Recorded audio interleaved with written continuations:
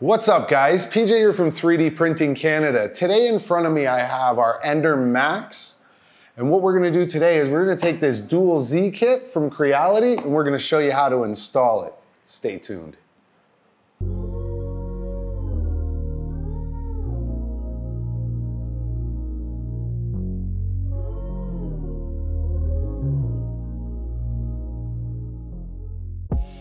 All right, so let's get this box opened up and see what comes inside.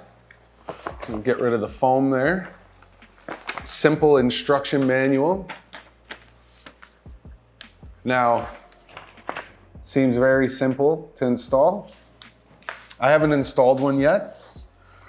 So we'll start off, you give you a mounting bracket that's new, along with the lead nut, and wire, an extension cable, then we get our upper bracket and hardware, as well as our 42, 34 stepper motor, a collet, and a lead screw. All right, guys, so we're gonna start assembling our dual Z. We're gonna start here by taking off the power supply. That's gonna be our first step. So Go ahead and I'll grab my tools here. I believe to take the power supply off, we're looking at a 2.5 driver here. So it's just one screw here. And then one more here at the bottom. Now hold the power supply guys because we don't want to drop it and rip a wire off or potentially damage it. So go ahead and move that power supply. And what I'll do is I'll actually unplug it here. It's just a little XT60 connector underneath the printer. You go ahead and unplug that and get your power supply out of the way. So we don't be needing that right now. Next step is, is I'm actually gonna take the top of this off and I'm gonna remove the whole gantry to make it a lot easier to install the new plate and wheels, etc. We'll go ahead and take the top off. So we'll go ahead and take the top off. Set that aside. Now carefully, we'll remove this because the lead screw with the anti-backlash nut that comes stock on these is gonna wanna pop right off. So we'll hold that to make sure it doesn't spring off on us. All right. We'll be reinstalling that after. Now I'll just take the lead screw and help get, let it help me thread that off a little bit there. Now I'm gonna actually move the printer out of the way so we can install our new lead screw setup.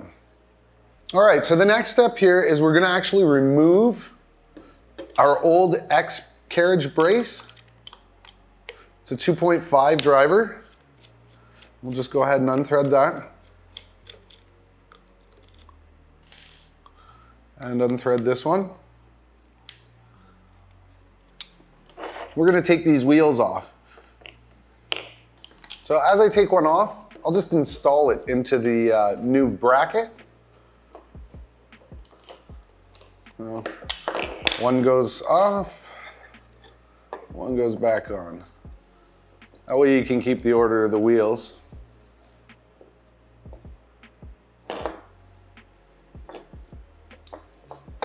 Always being careful not to cross thread things.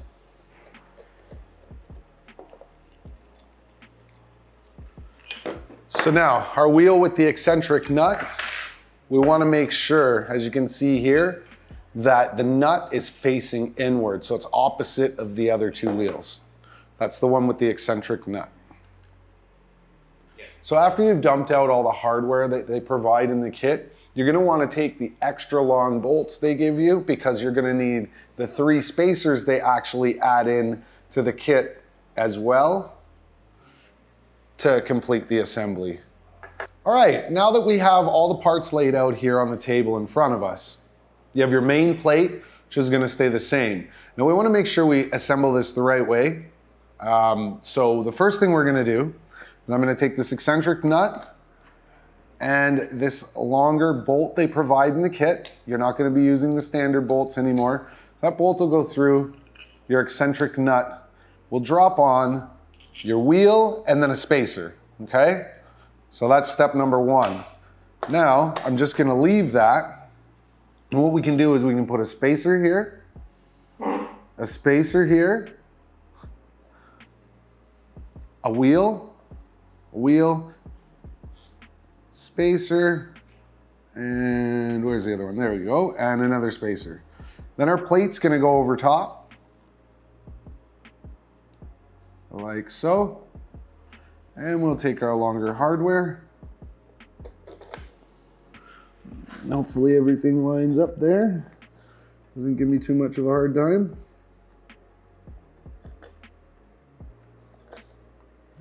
Course it's going to. There we go. And once you get them to fall through,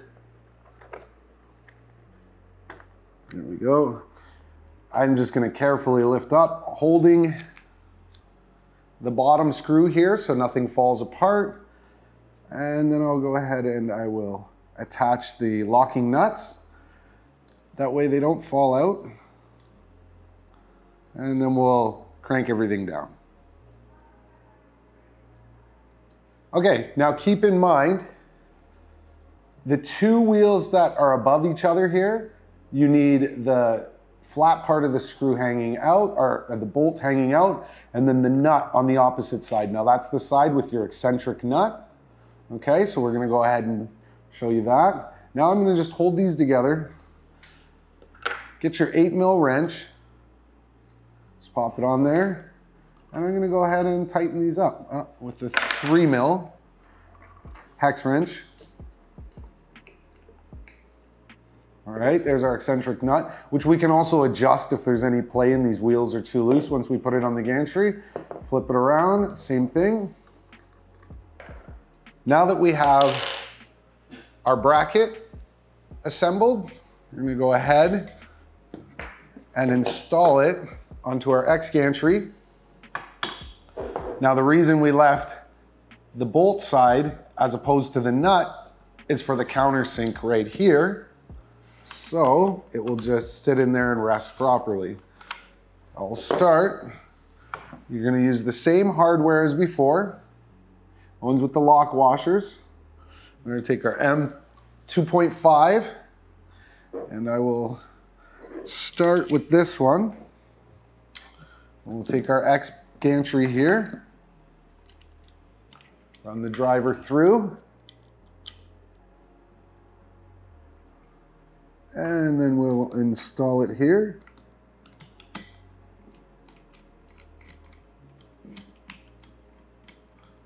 Go.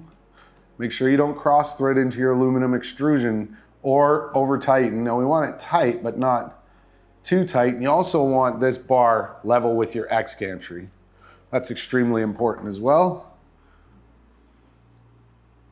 Go and install the last one. All right. Now we have our X gantry bracket for our dual Z installed. All right, so the next step, I'm going to get the X gantry and replace it onto our uprights. Now we wanna be careful doing this, not to bang up our Z rod at all. So line that up.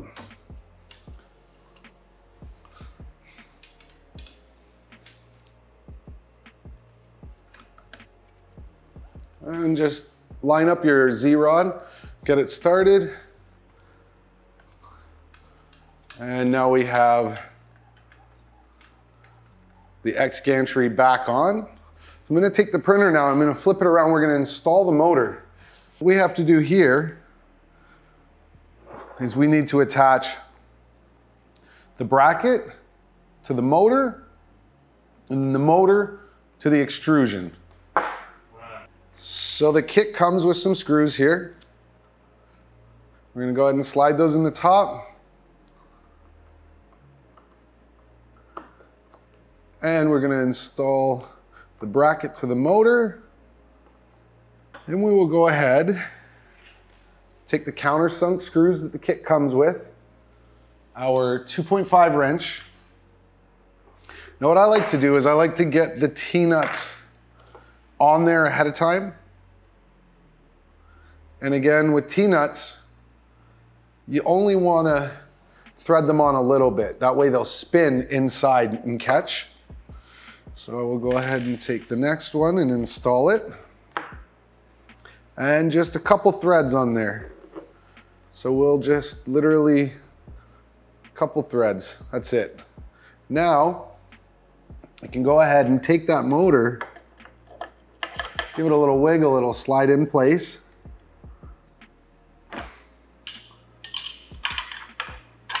I'll leave about the width of a driver. And I'll actually make sure I'm using the right one. About the width of a driver between the motor and the bottom plate.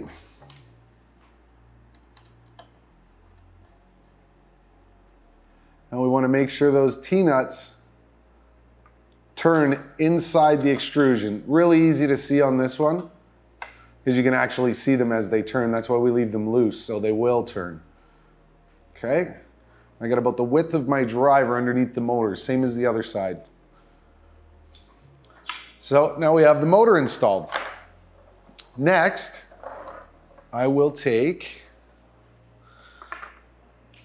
it comes with the upright bracket that's going to be installed. Now I'm not gonna install this right away. I will put through the bolts, attach the T-nuts, but I won't install it yet.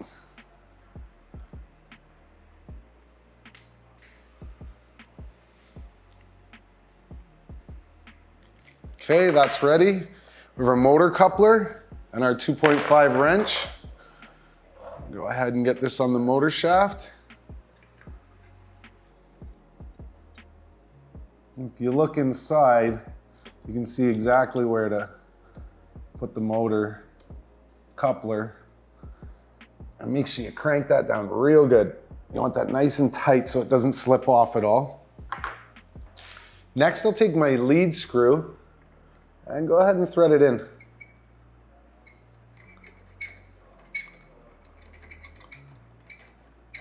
We just want to make sure the motor shaft and lead screw do not touch. We'll make sure we crank this one down as well, nice and tight. Now it's time to reinstall. Now this is where I'll have this just loosely fitted in here. That way, when I slide it over, I can move it back and forth here so that it'll fit in properly. Now all I'm gonna do here is just get this snugged up. Make sure it's in there, yep. And I'll do the other one again, just snugged up, just in case. We take our four mil driver here and reinstall our top piece. Okay, I like to go from side to side to make sure nothing's binding.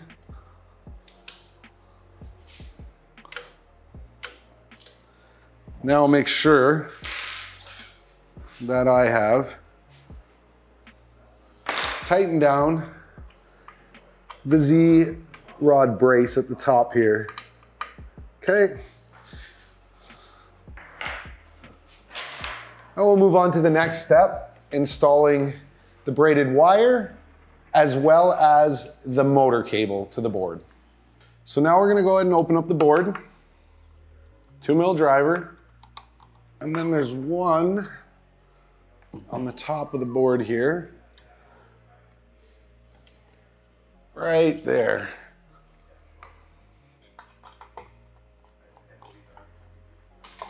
So careful when you take your board off that you don't rip these wires.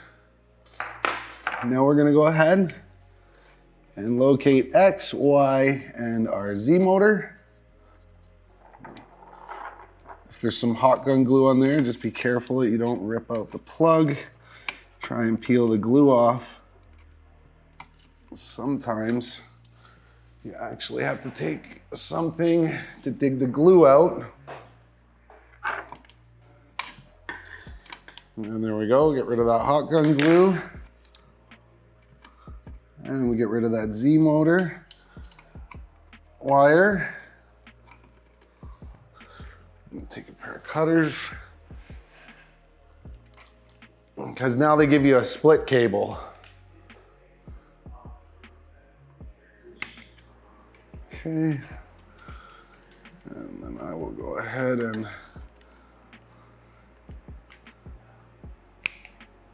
I don't care about the motor extension wire cable, so I'm just going to cut it free so I don't have to. Now you can go ahead and feel free to do it the other way and take all the tape off, but to save time here, I'm just gonna cut ours and get rid of it because we have a new piece of protective cabling to run through here, which I'll slip underneath like so.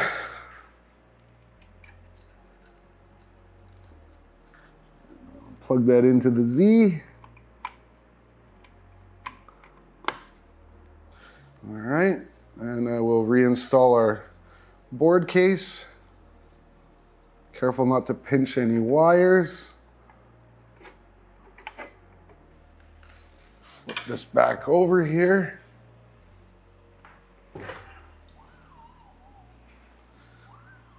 Install that one screw we removed from the top. We'll go ahead and now we're gonna take the first Z motor plug and plug it in.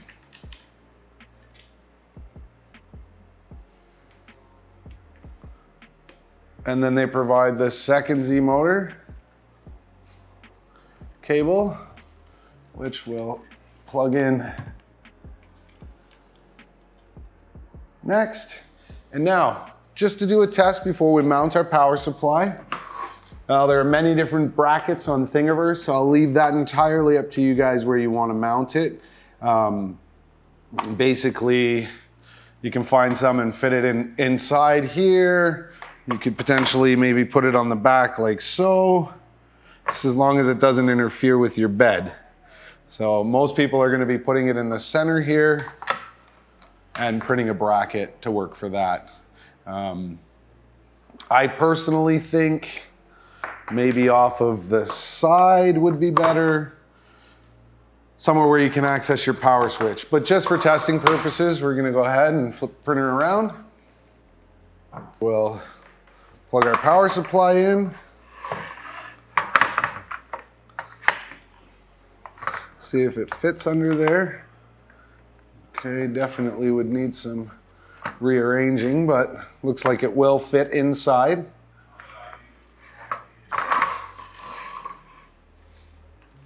Or you could just run it off of the back of the printer. I think that would be best to keep it out in the open.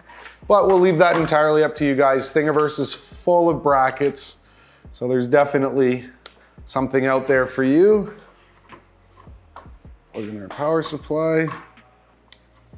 So now we'll turn the printer on and see if our Z-axis is functioning. And there we have it. Our dual Z axis is installed. With that being said, guys, don't forget to like, share, leave us a comment down below, maybe on some possible ideas for some new videos, because we'd love to share more new content with you. See you in the next video.